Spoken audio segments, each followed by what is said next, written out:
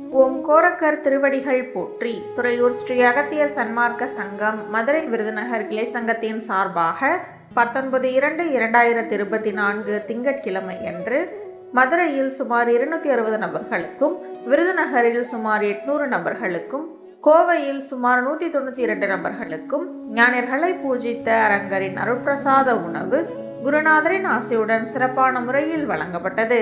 இந்த பசிப்பினி போக்கும் தர்ம காரியத்திற்கு பொருளுதவி செய்தவர்கள் குவைத் திரு ராமதாஸ் அண்ணன் குடும்பத்தார்கள். இந்த புண்ணிய தர்மத்திற்கு பொருளுதவி செய்தவர்களும் தொண்டு செய்தவர்களும் மேலும் உட்கொண்டு மகிழ்ந்த அன்பர்கள் என அனைவரும் வாழ்வில் எல்லா வளமும் நலமும் பெற்று இன்புற்று வாழ வேண்டும் என்று குருநாதர் திருவடி பணிந்து பூஜித்து வேண்டிக் கொள்கிறோம். மேலும் தங்களால் இயன்ற பொருளுதவி செய்ய தொடர்புக்கு திரு மோகன் கெனடி அலைபேசி எண் ஒன்பது எட்டு நான்கு இரண்டு ஒன்று பூஜ்ஜியம் ஒன்று மூன்று ஐந்து ஏழு. நன்றி வணக்கம்.